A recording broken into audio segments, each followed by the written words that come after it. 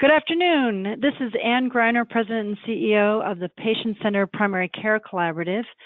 And for this afternoon's programming, we're going to be talking about transforming clinical practice by supporting patient and family decision making. We have a terrific um, uh, group of experts that are joining us for this conversation today and I will give um, more involved introductions. But at the highest level, we've got Beverly Johnson, President and CEO of the Institute for Patient and Family Centered Care. Wendy Nickel, who's Director of the American College of Physicians Center for Patient Partnership in Healthcare. Uh, Jacinta Smith, who's the Program Manager um, here at the PCPCC in our uh, CMMI slash CMS grant uh, focused on patient and family engagement, and Daniel Wolfson, Executive Vice President and COO of the ABIM Foundation. Um, we have a very exciting program ahead of us, and uh, we welcome all of you to it. Um, I also would like um, the members who have joined the call, the executive members on the line, to let you know that on April 12th, uh, we're going to have a follow-up conversation that is more intimate with each of these, with all of these experts together. And um, please, we encourage you to join that um, call, and you can do so by um, emailing Allison Gross, and that's there here on the um, on the screen um, uh, to join and register for that event.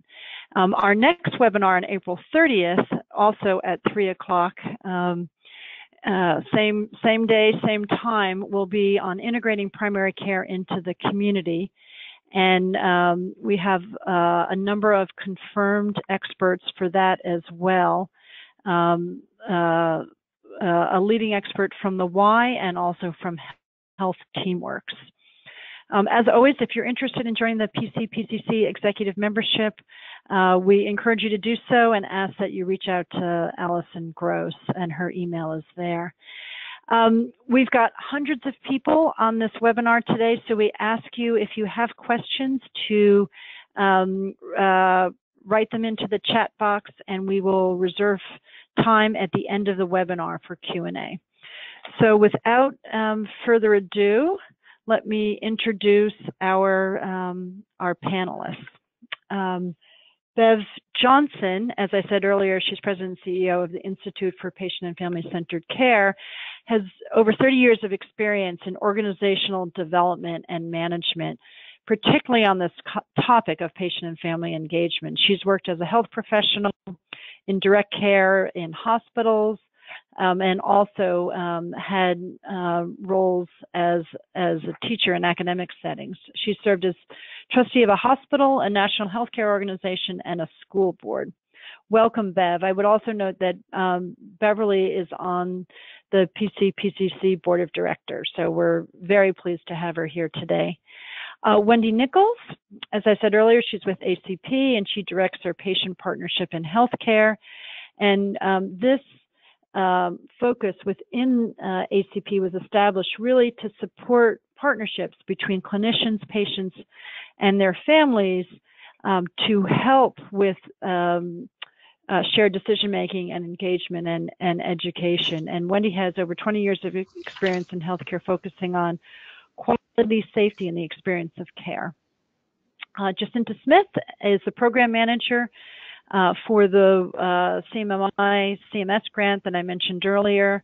Um, specifically, that's the Support and Alignment Network uh, for Patient Caregiver and Community Engagement at the PCPCC. And Daniel Wolfson, uh, who I've worked with in my past life and um, am pleased to be able to continue working with him, is Executive Vice President and COO of the ABIM Foundation. And um, Daniel uh, was founding president and CEO of the Alliance of Community Health Plans, formerly the HMO Group, uh, which is a leading association of not-for-profit and provider-sponsored health plans. Um, so let me just say a word about um, uh, our work with TCPI. Um, this grant is a three-year grant um, that um, uh, we're we're uh, halfway, almost halfway through the third year, and really the first two years we worked with um, close to 140,000 clinicians um, to help prepare them um, for large-scale health transformation. And our particular focus um, is uh, patient and family engagement. Um, clinicians, um, I think, recognize that um, you know the world is moving towards um, uh, advanced payment models, and along with that are um, are evolving the way that they deliver care. Um, participants in um, TCPI can meet their patient engagement requirements uh, with respect to MACRA's quality payment program. So there's an additional incentive for um, clinicians to participate um, in this in this collaborative work. Um, our focus, as I said earlier, has been on patient and family engagement and really helping to bring um, those concepts uh, through education and through tools. And starting in our third year and into our fourth year, we're going to be focusing on bringing patient and family engagement um, into the Choosing Wisely campaign. Uh, now let me turn this over to Jacinta Smith, who will uh, tell us a little bit more about uh, the TCPI work that PCPCC has been leading, and then um, we look forward to hearing from all of our experts. Jacinta. Thank you. I just want to take a few moments to build on Anne's overview of TCPI and share what the PCPCC SAN is doing to advance this national initiative. So as you see here, there are seven aims in TCPI that set the stage for clinical practices to be successful in transformation. These aims lead to improved health outcomes, reduced unnecessary hospitalizations, and significant cost savings. Thankfully, TCPI participants aren't asked, aren't tasked with achieving these aims on their own. They have access to a robust network of over 40 national and regional collaborative organizations prepared to guide them in this work. The PCPCC is the only support and alignment network in TCPI focused solely on patient, caregiver, and community engagement. Our goal is to support practice improvement teams through our diverse network to foster partnerships with patients, family caregivers, and community organizations to achieve common goals of improved care, better health, and reduced costs. Our SAN offers a variety of training and technical assistance on activities related to patient and family engagement as listed here. Tailored support is primarily provided to practices enrolled in TCPI to help meet their unique needs. However, all of our resources and archive learning events are free and available to the public on our website. To serve 140,000 clinicians, we need a team. So we've joined forces with the Institute for Patient and Family Centered Care, the American Board of Internal Medicine Foundation, X4 Health, and the Y to drive impact. I'll go ahead and wrap up here so we can jump right in and hear from our awesome panel today, but please feel free to contact us should you have any additional questions or interest in our work in TCPI. As I mentioned earlier, all of our resources and additional information can be found on our website at www.pcpcc.org slash TCPI. And with that, I'll hand it over to Daniel.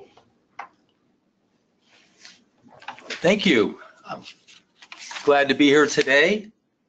If I can advance the slide. There I am. Um, I'm having a hard time advancing the slides. Thank you. Um, so many of you know the Choosing Wisely campaign. We've been around since 2012, and it's to foster conversations between doctors and patients about what care is needed and avoiding unnecessary care, care that can possibly harm patients. And the campaign is really based on supporting patients and physicians in a conversation about overuse of tests and procedures and to support both of them in this conversation. Next slide, please. And we believe in engagement and partnership with organizations and, and with uh, different uh, sectors, but uh, at the center of all this is the patient and physician uh, partnership. And we built this uh, first and foremost around patients and, phys and physicians. We uh, partnered with over 80 specialty societies and over 60 uh, consumer uh, employer groups. And as the basis and then the foundation of that, we've also began to work with delivery systems to implement the government, consumer groups, and payers. Next slide, please. So we got a grant from Robert Wood Johnson Foundation um, to uh, really begin implementation, and we did it in a way that I thought um, really brought out the best of all stakeholders. We contracted uh, first with uh, regional health collaboratives, many of uh, them you see here, all of them you see here, and they contracted with two, two large delivery systems and a uh, physician organization. Next slide, please. And we learned a lot. Uh, we learned about alignment of values and framing and putting down simple rules, engagement and partnership, a bottoms up approach, which we really think is important to this whole endeavor to get things from the uh, from the front line with support from the top. Um, the need for system and performance improvement approaches. We were, you know, we were certainly thinking about engagement, engagement of the physician, engagement of the patients, engagement of multiple multiple stakeholders, and it was about that engagement and that cultural change but culture by itself can't do the job. So I'm going to talk briefly about uh, what we've learned about system and performance improvement, but I really want to focus on the last, the need for patient and family engagement. Next slide, please. So um, need for system improvement, uh, we really uh, took this out of some uh, interviews that we did with uh, uh, Froedtert and Medical College of Wisconsin uh, who had done excellent work in lowering uh, lower back pain, uh, imaging for lower back pain, uh, which had been a difficult thing for health systems to do. So we wanted to determine what it was that really uh, brought their rates down by like 75%, imaging for lower back pain for, for, on, for initial onset of lower back pain. And the bottom line is they threw every kind of intervention that you can think of at, at this problem. And uh, Caricola's paper around this suggests that multi-component interventions uh, work the best. Next slide, please. So here they are. They targeted uh, recommendations and clinicians. They identified a matrix to be used. And in this case, on the tar you, you might say, of course, they targeted clinicians but they targeted specific clinicians. They targeted primary care physicians. They identified a matrix to be used and in fact adjusted uh, the NCQA lower back pain. They educated, um, you know, physicians, uh, you know, learned a certain way and they need to keep up to date on what those uh, recommendation are and what those clinical pathways are. Um, they did lots of peer-to-peer comparisons and academic detailing where they actually sat down with physicians who were outliers and showed them their data and showed them the evidence behind it. They built it into their EMR uh, with clinical decision support and changed order sets, order sets that were established years and years ago and didn't reflect the changes in, in uh, clinical protocols. And they aligned rewards, both financially and non-financially and they prepared the patient with materials in the exam room in the waiting room. It is that defining moment of getting both of those individuals, the patient and the physician, um, supported for an important conversation, and that's how they looked at it. Next slide, please. So now I'm going to switch to uh, talking about um, the uh, consumer engagement side of this. Um, and so uh, you know, looking at our best practices, uh, we see that consumer-facing interventions talk directly to consumer at, at uh, community events. These are some best practices. Integrate patient materials throughout the workflow. Some some have put uh, these uh, conversions of the recommendations for patients in the EMR. Um, and uh, that really puts it in the workflow. And I'll, I'll show some of those materials in a second. Um, patient portals, waiting rooms, exam rooms, screensavers, large posters, uh, messages through blogs, mailings. You see all those on your screen. Next slide, please. Next slide, please. So um, this is kind of a conclusion of a paper uh, that John Santa did. Uh, patients want communications with their clinicians. Uh, we worked uh, very heavily on providing communication skill building for clinicians to talk to their patients about why a test is not necessary. Um, uh, patients want to participate in making care decisions. Um, you know, this is shared decision making. This is informed decision making. Patients want access to information. Um, we focused on safety when justified, focused on doing no harm.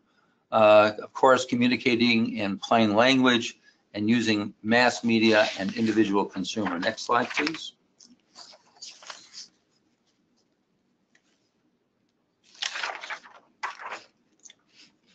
So these are the uh, brochures uh, that I'm talking about on the left side and posters. We have these wallet cards with five questions. Do you really need that test?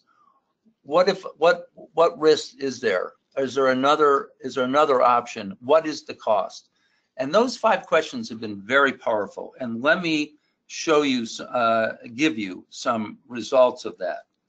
Um, this is a study that Consumer Reports did uh, regarding the five questions and asked them uh, actually, they went out to their membership and said, start using these, these five questions and we're gonna get back to you and see what effect that had. 20% changed their opinion about what to do as a result of asking the questions. 22% said they changed their plans about anticipated treatment. 88% said the doctor was open to answering questions, and 90% would encourage their patients and friends to ask questions. That, that's really amazing kind of change. Now, you might uh, doubt the study and its, its uh, validity, but th these are important signals that uh, this stuff does work. Um, next slide, please. This was another study that Consumer Reports did. How well did the topic specific brochure work? Before reading, there was less than 16% interest in the topic. After reading, you'll see these results. Next slide, please. So, you know, you can see how the rack cards are used, uh, the, uh, how the brochures are put in rack cards, in the waiting room, in, in the exam rooms, um, how posters are put in, uh, how people are, you know, kind of getting into these five questions um, as powerful tools uh, to think about uh, how to have conversations and preparing uh, them for conversations and empowering them and giving them the tool to empower them. Here are five questions that you should ask your doctor. I think that's great empowerment. Um, next slide, please. And of course, we have stories uh, from consumers and patients uh, which make the issue come alive. And the next slide, uh, we are hoping to uh, work uh, with uh, PCC on choosing wisely and uh, in a kind of a learning network, a breakthrough series. Um, and uh, we look forward to that, uh, getting real results by working with both patients and physicians in a breakthrough series. And my time is up. Thank you so much. I'll, I'll look forward to your questions.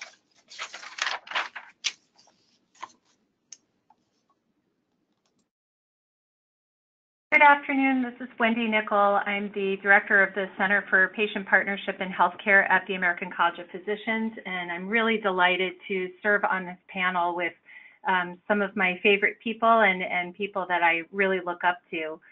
So I'm, I'm happy to tell you all about our Center for Patient Partnership, uh, but I'd like to start with just sharing with you a little bit of information about the American College of Physicians for those of you who are not familiar with our organization.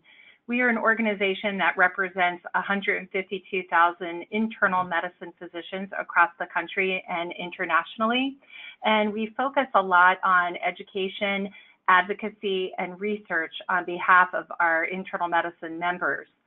So um, it's very unusual for a uh, physician membership organization to have a Center for Patient Partnership, and that's why I'm so excited and proud to tell you about our, our work in this uh, area.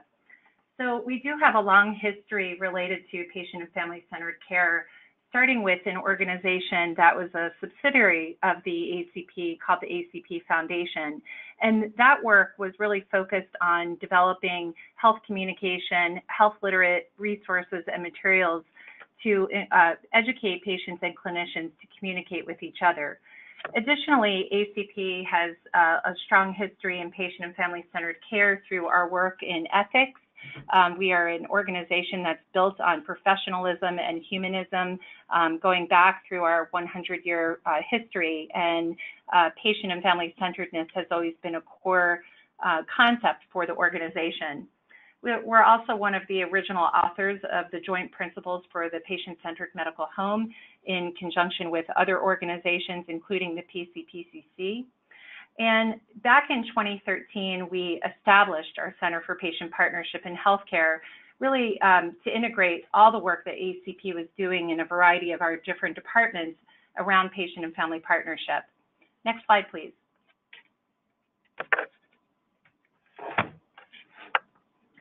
So these ACP Center for Patient Partnership is advised by a multidisciplinary committee. Again, uh, another unusual thing for a physician organization. But our advisory committee um, actually is populated by both physicians and patients, as well as other members of the healthcare team. And you can see on this slide that we have patient representatives from a variety of different organizations, including the National Partnership for Women and Families, the Institute for Patient and Family Centered Care, and Consumer Reports. And I'm proud to say that Bev Johnson, who is a panelist on, uh, on this webinar today, was actually one of the inaugural members of our board. So very, um, very lucky to be informed by this group of individuals. Next slide, please. So our mission is to promote mutually beneficial partnerships among clinicians, patients, and families in order to enhance quality, safety, and the experience of care. And in layman's terms, our goals are up here. Um, and uh, just to share with you what these goals are, we develop high quality and accessible information that really supports individual patient and clinician communication and interactions. We work to foster collaborations with organizations that are, are uh, interested in furthering the goal of patient and family, family partnership. We facilitate engagement of patients not only in their own care, but in improvement of healthcare systems and delivery. And then finally, we uh, engage patients and families in education of health healthcare professionals. And I'll be talking about that a little bit more in just a moment. Next slide, please. So the, the primary functions of our Center for Patient Partnership are one, the development of patient and family-centered resources and health literate resources, two, supporting patient and family partnership in care and improvement, and the third bucket is related to um, the education of healthcare professionals. Next slide, please. So you can see some of the resources that we've developed here. We have hundreds of resources that we have um, available in our patient education library that's on the ACP online website. All of our resources are developed in conjunction with patients. They're written at the fifth or sixth grade reading level. Um, they're all known for being very health literate, for e being easy to read, for really facilitating communication between patients and clinicians by offering patients tools such as questions that you can ask your physician. Um, also, we have things like medication worksheets where patients can fill out information about um, their visit or they can ask questions about their visit. So very interactive, um, these materials. They're available in both hard copy as well as online. And you can see that we have um, a number of different types of resources, and they're very popular. Um, one of our, our, guides has been in circulation for about 10 years, and we have about 1.3 million that have been disseminated um, not only nationally but worldwide. And we're very lucky and, um, and excited that we won an award for our guidebook series last year uh, from the Institute for Healthcare Advancement around health literacy. These materials are mostly available for free, and um, again, they are available on our website, and uh, I have that link at the end of my presentation. Next slide, please. These are some other resources that we provide. Um, we have what we call our patient facts. These are one-page sheets that, um, again, share information about a common condition, but also have questions that patients can ask their uh, clinician about a, uh, an issue that they may be concerned about related to the condition. And something we're really uh, feel very strongly about in the Center for Patient Partnership is that nothing goes out without patient stamp of approval. So patients are involved in not only developing um, the resources that we develop, but also in reviewing them through patient focus groups and, and other ways that we engage patients to be involved in content development. We've also developed a number of high value care resources. So these are resources um, not only re related to the Choosing Wisely campaign, but also related to how do you get the best bang for your healthcare dollar. And so we've developed a number of resources related to where's the best place for you to get care. Um, so retail health clinic versus going to your own primary care clinician versus going to the ER for a particular issue. Um, making sure that you get immunizations, that's very high value because they're low cost, but they have a very big impact on your health. Um, and taking control of your health by making sure that you get the appropriate screenings for your age and, and conditions. Next slide, please.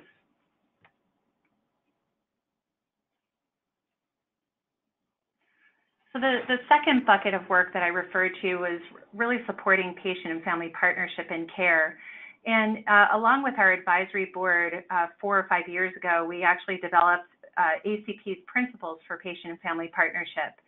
And they are respect and dignity, that patients and families should be treated with respect and dignity in all care interactions that patients and families should actively participate um, to their desire in their own health care, that patients and families should contribute to the development and improvement of healthcare systems and really contribute to looking at process efficiency, how they can um, provide feedback on resources that may be provided as part of the, the office, and provide feedback on, on various um, ways that patients are communicated with by an, an office or a practice. And then finally, participate in education of health professionals. These principles have actually been put out to our entire membership um, as a guidepost for how members can really engage in this whole concept of patient and family partnership. We've also conducted a study, a survey on ambulatory care, uh, with ambulatory care practices on what patient and family centered care looks like in practice. We've developed shared decision-making tools for both breast and prostate cancer screening. And I'm very proud to say that patients are involved not only in our clinical guidelines and performance measurement committees and um, developing those items, but also in advocacy for the, the, issues that are important to our membership. So when we raise an, an issue to um, the level of really paying attention to it from a policy perspective, we, we engage patients in that process. And you can see that some of the issues that we're looking at right now are related to EHRs, um, how, how physicians are reimbursed, the, the proliferation of retail health clinics, and of course, more recently, things like climate change and firearm safety. And then lastly, we're uh, heavily involved right now in discussions about cost of care and how to initiate cost of care discussions between patients and clinicians. We're doing a very interesting survey on um, better understanding what the practices are for both patients and clinicians. And we're learning there's a little bit of finger pointing. So patients are, are saying, I, I think it's physician responsibility to bring up cost of care. And physicians are saying, I think it's patient responsibility to bring up cost of care. And there's a whole variety of reasons uh, behind this, but um, very interesting data that we'll be sharing shortly. Next slide, please. So the last bucket of work that, um, that we work on is really educating professionals about patient and family partnership in partnership with patients and families. So we feel very strongly that patients and families should be part of the educational process of healthcare professionals. And we've done a considerable amount of work in, in this area. One is that we uh, encourage faculty to participate as um, lead authors and content developers in a lot of the educational modules that we develop including those related to the Transforming Clinical Practice Initiative. We've partnered with Institute for Patient and Family Centered, Care and the National Partnership for Women and Families in developing a number of educational modules and tools. We uh, very excitedly um, have had a number of sessions at our internal medicine meeting that have been led by uh, patient faculty, including a session that we call In the Patient's Voice, where we prominently feature a patient talking about their experience of what it's like to live with either a chronic condition or some other type of issue um, that has impacted their health. And it's been very eye-opening for the physicians that are participating in the audience to, to really hear what the patient perspective is, um, as opposed to hearing about clinical guidelines or hearing about a new treatment. Um, these have been very well attended, and uh, we're really excited about um, the footprint that we've made at, at, the annual meeting for the last five years with this particular session. We also have identified opportunities to engage patients and families by including patients and families at our internal medicine annual meeting. We invited 10 patient and family advisors to come to our meeting last year and provide their recommendations and observations about how to uh, make the meeting more welcoming, how to make it more patient-centered. And one of the, the um, things that came out of those recommendations is that in the future, we're going to be having hands-on interactive clinical skills courses that address the relational breakthroughs between patients and physicians. What that means is there are moments in time in um, clinical visits or in a patient-physician relationship that really tends to um, hit the tipping point in a, in a relationship. So, for example, a patient um, may have been seen by a physician for many years, and the physician was not able to make any progress on um, working with the patient to overcome a particular uh, clinical issue. But there was some sort of tipping point or relational breakthrough that um, helped that that relationship gel and help the, the two come together on a treatment plan that worked for both of them. And so we're going to be talking about those in future um, sessions at our internal medicine meeting. Next session, please. Next slide, please. So I wanted to specifically talk just for a minute about the Transforming Clinical Practice Initiative. And I mentioned before, um, if you could go back a slide, please just uh, briefly wanted to talk about the work that we've done um, in partnership with patients and families uh, in the Transforming Clinical Practice Initiative. One anecdote that I wanted to share is about a module that we developed in partnership with patients and families related to medication management, otherwise known as medication adherence or medication compliance, um, which uh, are two words that have been struck from my vocabulary, um, having learned from patients and families. But the idea around collaborative medication management is that both physicians and patients can come to the table and talk about what are ways that um, patients can really um, follow a treatment plan that works for them. And that, that's really getting to the heart of the matter. Um, what is it that's going to work for the patient that's going to allow them to um, follow their treatment plan um, that respects their wishes and their preferences? Um, we also participate on a number of the patient and family engagement um, curricula, work groups, as, as, well as providing subject matter expertise to PTNs. Next slide, please. So the outcomes of all the work that we've been doing in patient and family partnership are listed here on this slide. And just briefly, um, we've had at least 15 sessions that have been um, led by patients at, at our annual meeting. We've developed hundreds of patient education resources with patients. We've had dozens of physician education programs that have been co-developed, co-designed, co-written by both patients and families. Um, and I wrote this word, but I don't know that it's an actual word, but I said that patients standardly serve on committees. Um, we have patients that um, it, it is now a standard that we invite patients to serve on committees, including a physician wellness committee that we have now um, where patients are really providing ideas on how to address the, the epidemic of physician burnout. And then finally, uh, as I shared earlier today, uh, we have received an award for health literacy. So thank you so much for your attention, and I'm uh, excited to answer questions at the end. Uh, thanks so much. This is Bev Johnson from the Institute for Patient and Family Centered Care.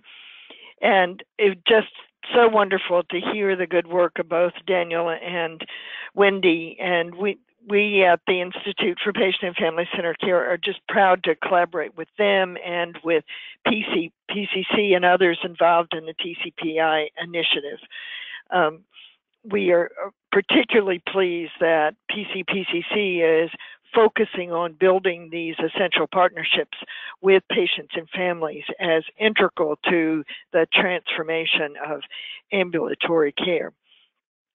Uh, let's see if I, uh, um, the core concepts of, of patient and family centered care really are foundational to the work about transformation in um, ambulatory settings.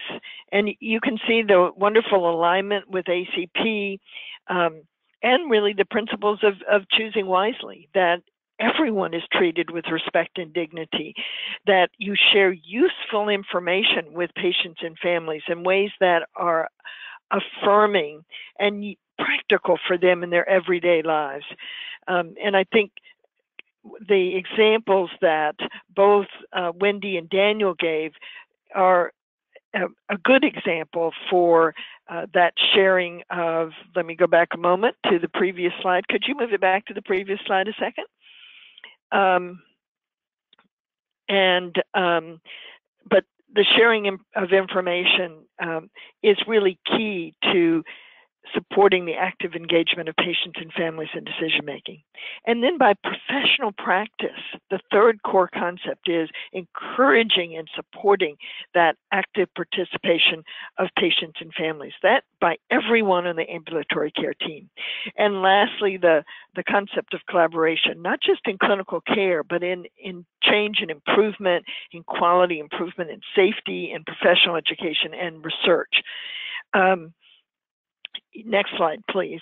The core concepts of patient and family centered care really align beautifully with the newly created shared principles of primary care that PCPCC led. I think you can see these core concepts of person and family centered care, continuous, co comprehensive, and equitable, team based collaboration, coordinated and integrated, accessible, high value. All of the these core uh, principles, whether we're talking about it from the patient and family perspective or from clinicians or staff, they should shape our uh, practices and the transformation work. Next slide, please. Um, I think TCPI um, has been very visionary in the way it is approached uh, defining what they mean by patient and family engagement. So they're they're really six key areas where they're in, encouraging these genuine, authentic partnerships with patients and families. Uh, it's not just we're going to talk about it, but are we really going to do it and embed it into the practice? And so um, certainly we've all talked about having the patient voice as part of practice operations. That means having them on an improvement team, maybe having a, a patient and family advisory council, having them uh, educate uh, clinicians and staff who you bring on board to work in an ambulatory setting. Um, certainly promoting a, a culture where there's true shared decision making. And to get at true shared decision making, there are a couple of things that really have to happen.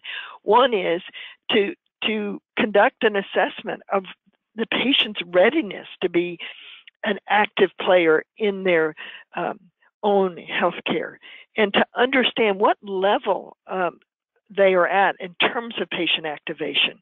And uh, similarly, I think to measure where the patient is in terms of health literacy. This is key in terms of sharing useful information.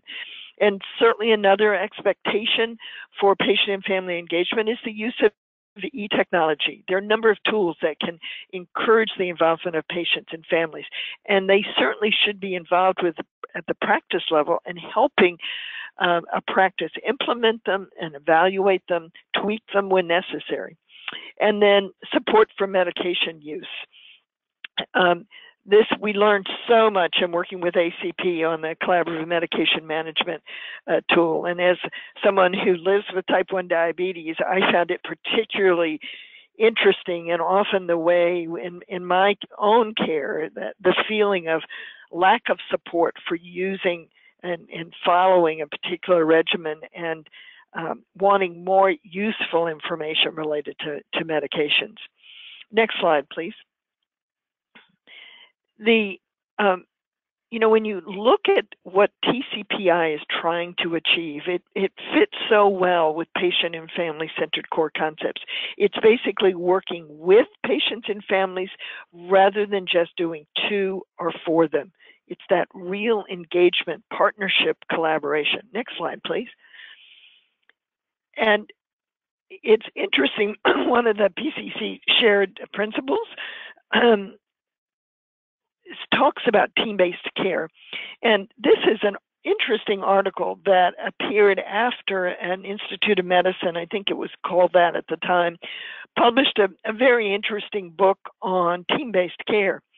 But this article came out about a year later, and I thought it, they were very humble people who were involved in in this report because they said, "Oh my goodness, we forgot when we talked about team-based care, the patient."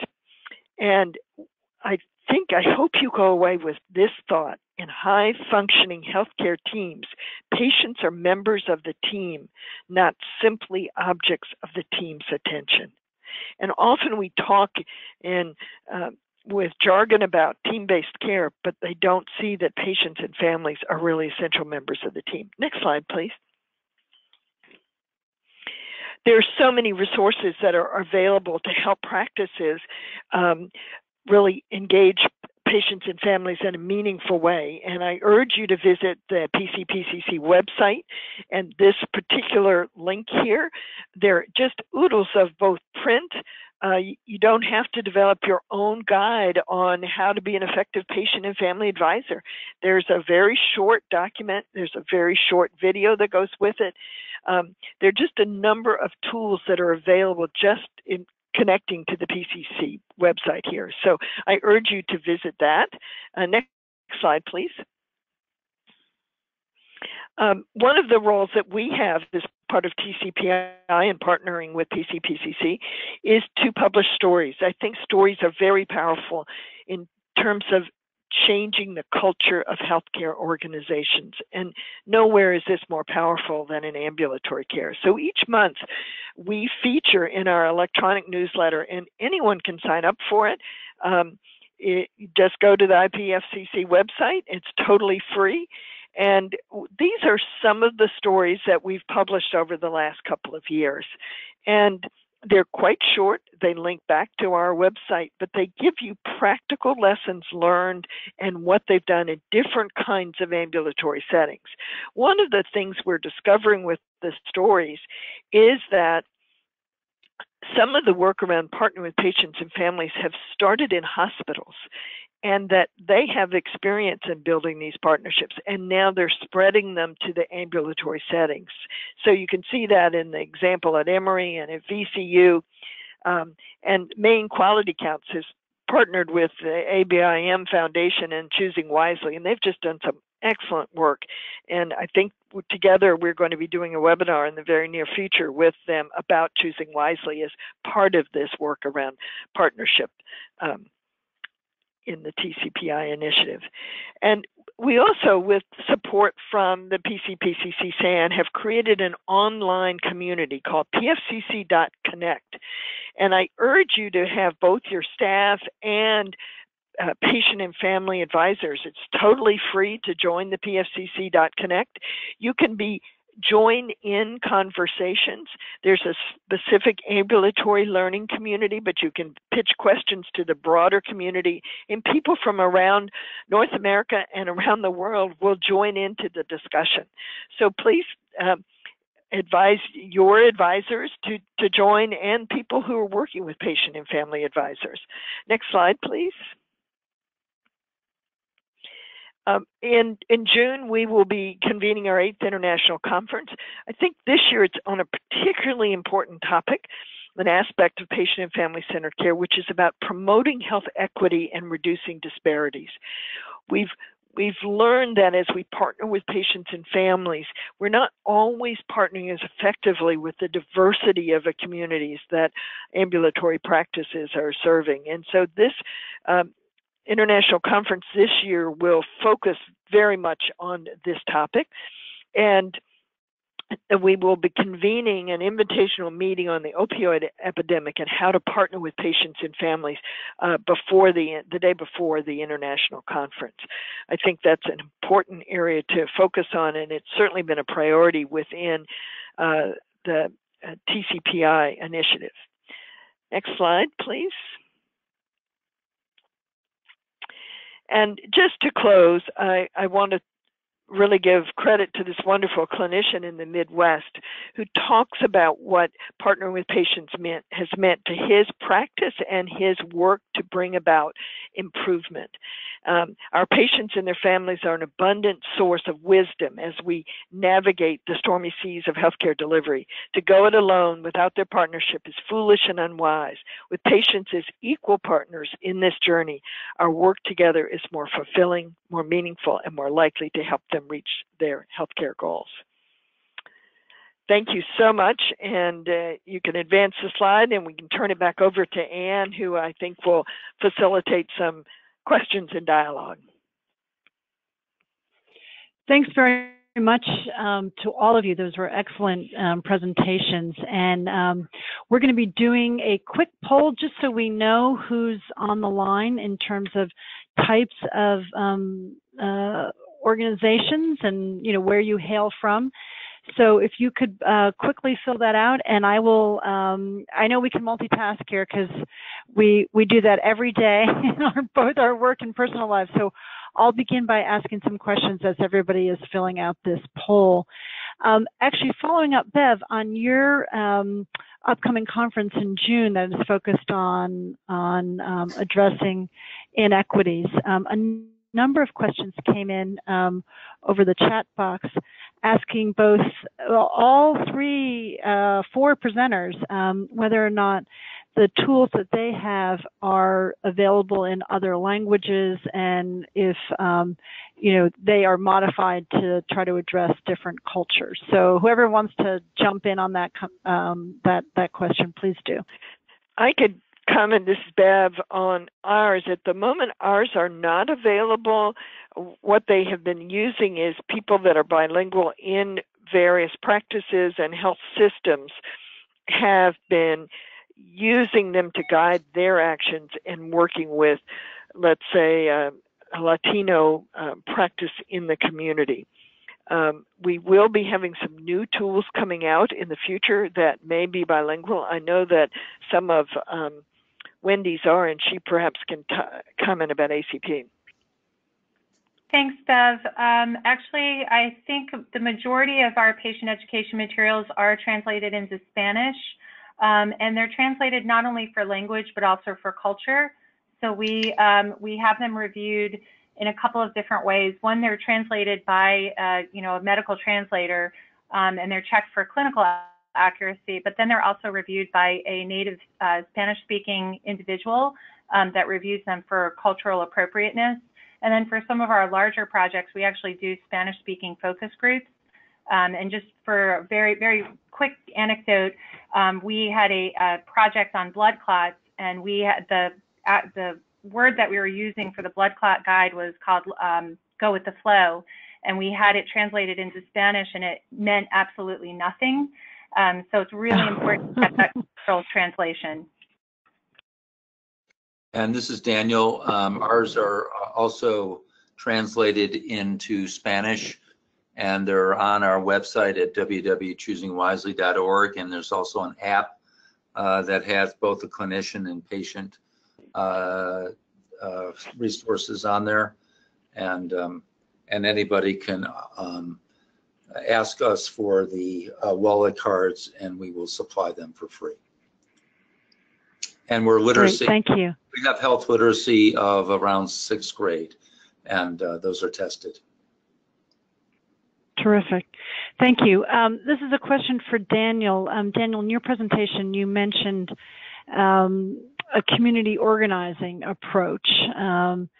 Uh, and also that you had done some work with Maine Quality Counts. Maybe that involved sort of this community organiz- organizing approach. Can you say a little bit more about what you meant? Well, I, you know, the regional health collaboratives, as they're often called, like Maine Quality Counts, um, does uh, reach out to um, consumer consumer organizations and patients. Uh, one of our grantees would hold um, town halls uh, to get uh, patient input. Um, so it was that kind of, uh, I think, engagement uh, using existing structures that uh, didn't need to be created, but were already on the ground, which I think was key to some of the success of our um, uh, of our grantees. Great. Um, uh, this is a question for um, Wendy. Wendy, you mentioned that um, patients have been involved in your patient education programs and on some of your committees. Um, can you reflect a little bit about how um, having a patient involved has maybe um, shaped your programs or influenced your committee decisions, or what has that actually meant with respect to implementation? That's an excellent question. Um, first of all, I, am sure or I hope that many people on the line have heard the statement, nothing about me without me. And that's sort of the rallying cry, I think, for patient advocates uh, across the country.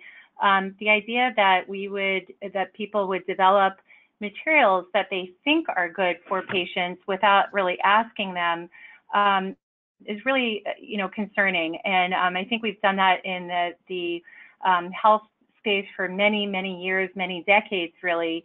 Um, you know, just develop what we think patients want.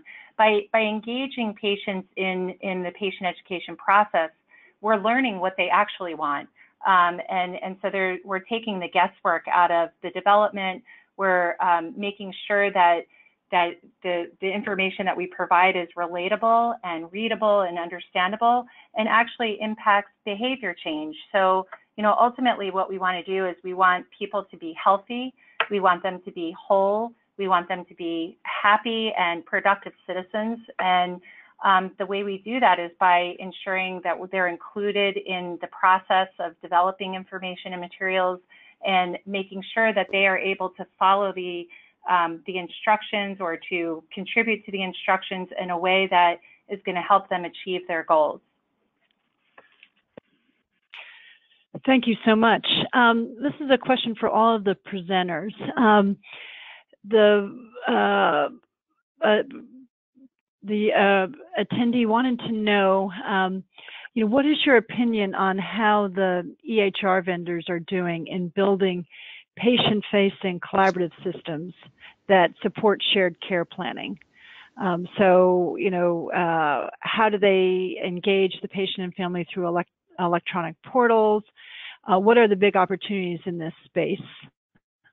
And then, um, a follow-up, um, also is your content, you know, available to embed in um, some of these uh, EHRs to really make that very seamless? And this, is Bev, I can answer the first part of that, and maybe both um, uh, Wendy and Daniel want to talk about embedding it in the electronic health record. I, I think that we need to help both practices and health systems partner with the vendors. And I, I would hope that some of this could come from vendors themselves, that they bring patient and family advisors onto the teams planning the use of any e-technology. Um, so often they come very far down the road and patients look at the patient portal and say, you know, this navigation doesn't work for me. This just takes too much time. It's not intuitive. And places where we've seen them bring them up front and say, this is what I'm really looking for. Make it easy for me to get to here, here, and here. And um, if the vendors would be willing to share what they learn in one place and not have to have every health system recreate a better approach to the e-technology tools would be terrific.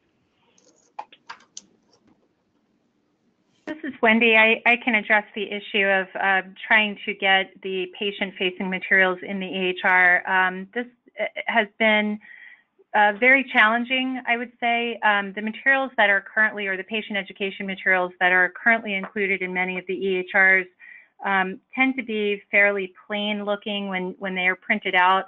Um, there are multiple paragraphs. So things that we know from the health literacy perspective is that patients prefer to see things that are bulleted, digestible chunks of information with images and, and graphics.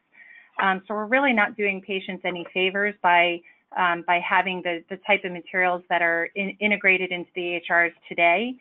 Um, this is something that ACP has been really challenged by. Um, one of the things that we're doing now is we're uh, we've actually made it possible that clinicians can download all of our patient education materials at once to their own computer.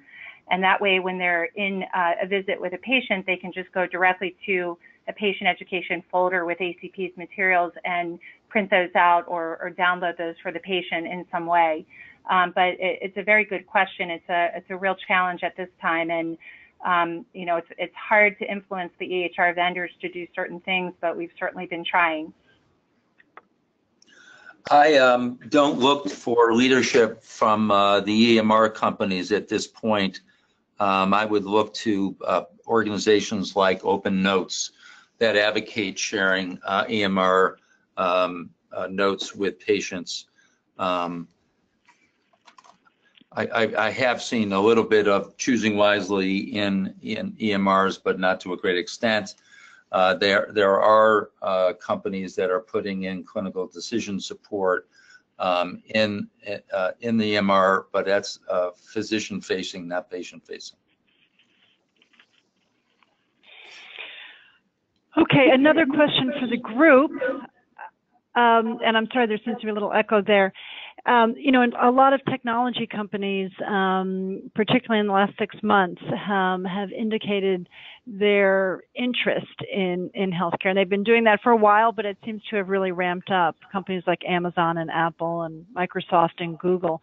Are any of the um, organizations um, on on this panel working with any of those companies. I mean, Apple just introduced, um, you know, an app um, for your phone where you can get your um, EHR. So I'm wondering if anyone is is working with those technology companies. That was one of the questions.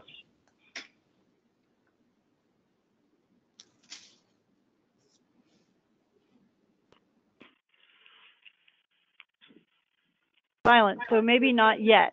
Um, contemplating that. Another question is um, your impression of EHR independent patient engagement tools.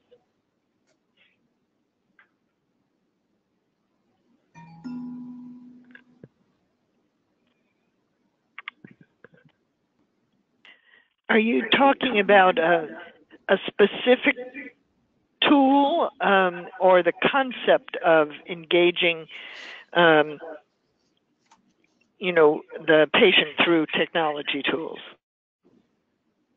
You know, I'm sorry, Bev, I'm not able to actually give you that um, more specifics there. So um, mm-hmm. why don't you just answer the question the way you think makes the most sense? I think that where it's possible and what I've found from clinicians who, you know, rightly so should be very concerned about the time that they spend. But when we have a patient portal that works well for fostering communication, I can speak from a patient perspective that the patient um, portal that I use for my diabetes care uh, will not allow me to save a, uh, a note that I've written um, midway. So if I get distracted, I have to start all over again. It's very restricted in terms of the, I'm, I'm often editing and I don't want to take a lot of time to communicate details, but it is not, um, in my mind, it, it has not been planned for the convenience and the use of patients and families. It's been designed to almost protect the clinician, and I think we could make it function uh, more efficiently from the perspective of patients and families. Okay, well, thank you so much. And I think um, the major message really of this whole um, discussion today was um, involve the patients and families early and often. Um, and that will have wonderful downstream effects on all kinds of things the way uh, cares uh, provided, the way our technology is developed. We want to thank everyone um, for your participation and for everyone who was able to attend today's webinar, and we'll see you next month. Thanks again. Bye now. Bye bye.